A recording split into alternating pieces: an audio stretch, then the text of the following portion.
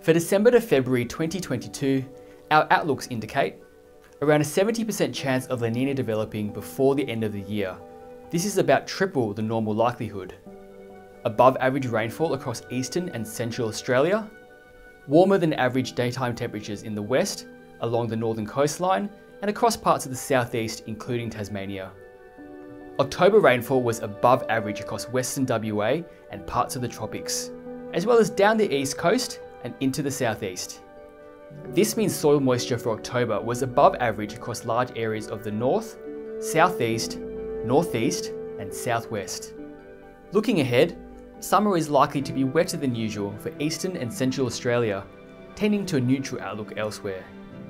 The increased chance of La Nina forming in the Pacific is just one of several climate drivers influencing this wetter outlook.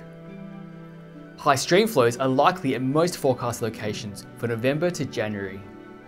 Warmer than average December to February days are likely along the northern coastline, across southwestern WA, most of Tasmania and eastern South Australia, and extending into New South Wales and Victoria. But cooler days are likely in eastern New South Wales. Summer nights are very likely to be warmer than average for most parts, except southeast Western Australia. For more information, visit bom.gov.au forward slash climate.